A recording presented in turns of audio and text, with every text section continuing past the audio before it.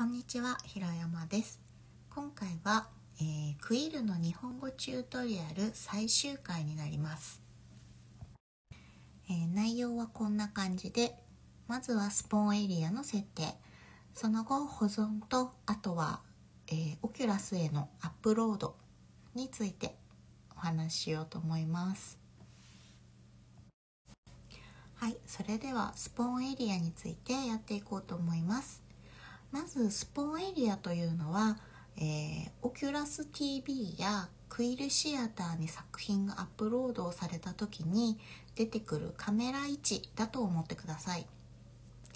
えー spawn area は、えー一つだけではなくいくつも設定できますのでそれをこれからやっていきたいと思います。まずレイヤーにはすでに一つ spawn area が設定されています。これは削除することができないのでお気をつけください。またこの、えスポーンエリアマークレイヤー上にあるスポーンエリアマーク一番左を押すと、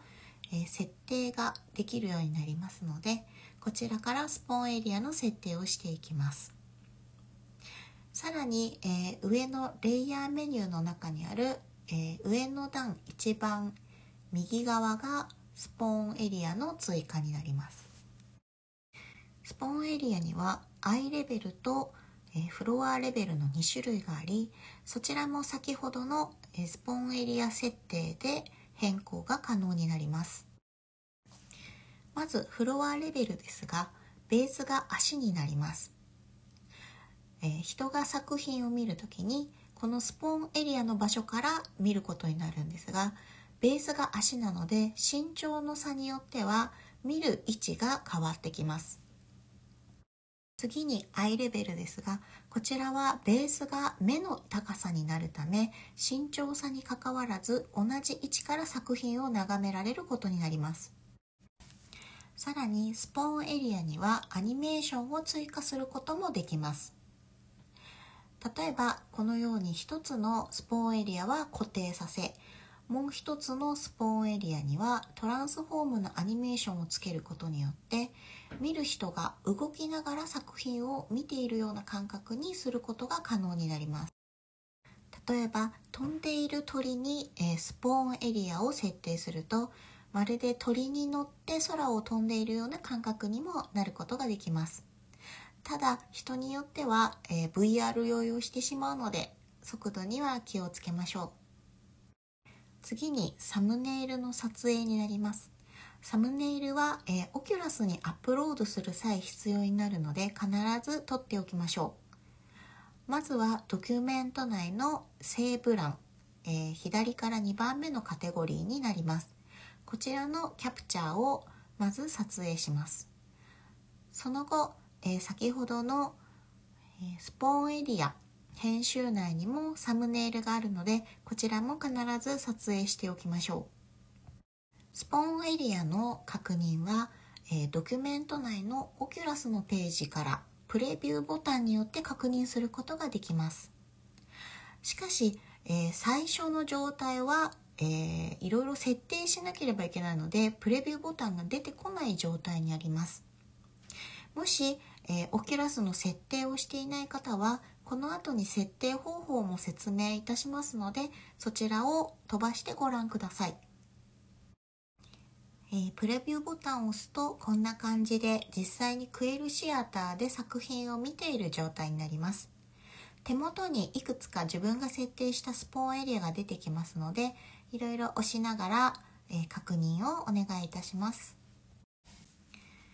この後、えーお話しする設定後 Oculus へアップロードする際はドキュメントの Oculus ボタンから、えーアップロードするのですがその前にいろいろセーブしていなかったりサムネイル撮っていなかったりポリゴン数が多かったりで、えーこのように赤い文字で注意書きが出てくるのでこれを一つずつ解決するとアップロードすることが可能になります。えそれでは次にビデオカメラによる撮影方法になります、えドキュメント内のビデオカメラマーク。こちらの、えスタートキャプチャーで動画を撮影することができます、え動画を保存する場所や、えー、自負化 AVI 形式の保存、え、ファイル。あとはサイズ画面サイズやフィルターフィルターはモノクロやセピアなどちょっとノスタルジックなものがあるので是非試してみてください。えー、それでは最後に、えー、 Oculus ページと Quill を、えー、接続してアップロードできるように設定していきたいと思います。え正直私もこれをやった時に全て英語で、えなかなかちょっとわからないところが多くて1日2日ぐらいかかってしまったのでもしわからないことがあればコメントで聞いてください。えー、まず最初にオキュラスクリエイターというページに、えーと、クイルのアップロード方法が英語なんですが、えー、書いてあります。このページについては、えー、概要欄にリンクを貼っておきますので、えー、もし見たい方はご覧ください。Google 翻訳なのでちょっと翻訳しながら見ると分かりやすいと思います。えー、ではこの、えー、 Oculus 上の Quill アップロード方法を、えー、一つずつ見ていって、え設定していきましょう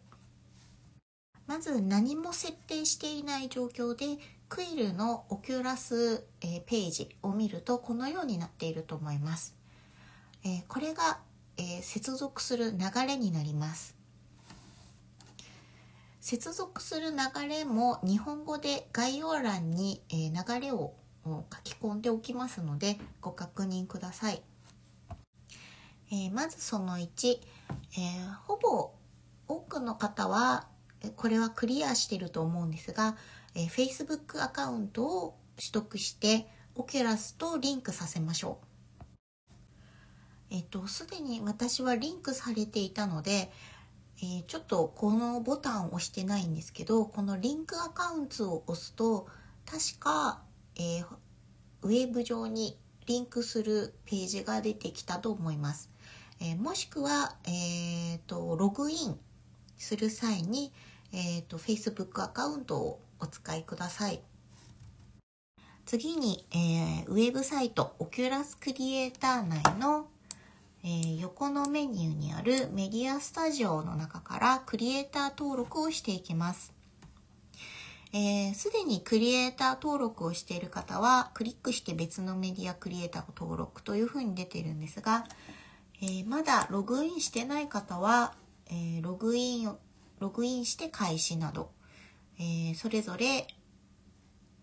ボタンが違うのでお気をつけください。ログインして開始の場合はえー、Facebook アカウントと、えー、リンクさせてください。えー、クリエイター登録の場合、このような画面が出てくると思うんですが、えー、3つほど、えー、設定する場所があります。まず、ステップ1、えー、こちらはマルチユーザーとして登録してください。このマルチユーザーの方をクリックすれば完了です。で、ステップ2は2つ、え、っと、えーと、URL360 度動画の URL とあとメディアスタジオをどのように使いますかという質問がありますのでそれぞれご記入ください。えーと、例えば360度動画が持っていないという場合もあるかと思いますので、えー、その時は YouTube で360度動画をアップロードすることが可能になります。例えば、えー、チルトブラシなどで描いた作品をとりあえず360度動画としてアップロードしたものをここに貼り付けると良いかと思います。えー、次に、えー、 Oculus のデベロッパーページにある管理で新しい団体を制作します。えー、いろいろちょっとよくわからない部分が多いかと思うんですがこの新しい団体を制作することによって、えーと、自分がアップロードした作品を管理したりあと編集したりすることが可能になります新しい団体の名前はまあ何でもいいんですけど、えっ、ー、と、 Oculus TV の下の部分やプロフィールに出てくるものになるので、なるべく自分と関連した分かりやすいものにしましょう。えー、 Oculus のメディアクリエイターや、えー、デベロッパーページは概要欄にリンクを貼ってありますので、それぞれご確認ください。これで Oculus ウェブ上の設定は終わりになります。まずは Facebook をリンクさせる、えー、メディアクリエイター登録をする、そして新しい団体を制作する。この3つをすると、今度はこのように、えー、ドキュメントページのオキュラス側がリンクされ、えー、いくつかの赤い文字が出てくるか、もしくは、えー、このようにダウンロードできますよという、え文章が出てくるかと思います。赤い文字が出てきた場合は先ほど言ったように、え、セーブされてなかったりキャプチャーを取ってなかったりポリゴン数が多かったりなどがありますので一つずつご確認ください。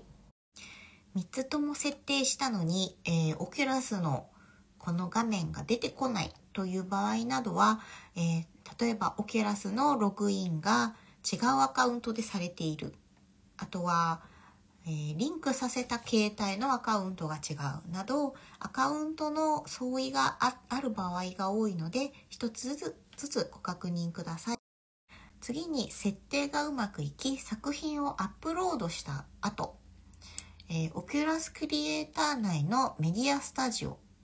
その中にライブラリーがありその中の下書きに作品がアップロードされます。え、まだ下書き状態なのでこの、え、作品をクリックして公開設定をすることにより次に公開済みの方に作品が入り公開されます。